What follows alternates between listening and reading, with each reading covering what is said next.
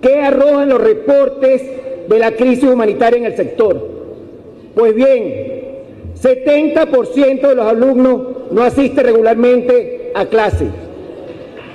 Menos de 15% presenta rezago escolar severo, debido principalmente a la falta de alimentos y agua potable. 60% se ha incrementado el abandono del sistema escolar. Existe más de un millón de niños escolarizados, incrementando la pobreza en el país.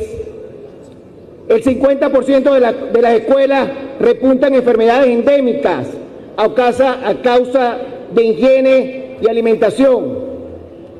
La desnutrición se agudiza con un programa de alimentación escolar que solo llega dos veces a la semana y cuyas provisiones son irregulares, deficientes, de mala calidad y de bajo contenido calórico.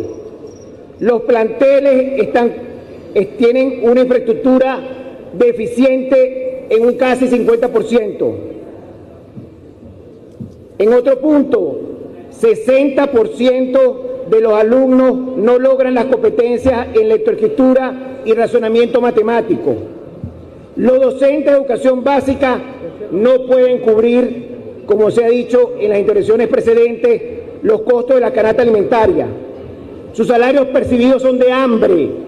En Venezuela los maestros no tienen con qué comer, ni cómo vestirse, ni siquiera cómo cancelar el pasaje para sus centros de trabajo.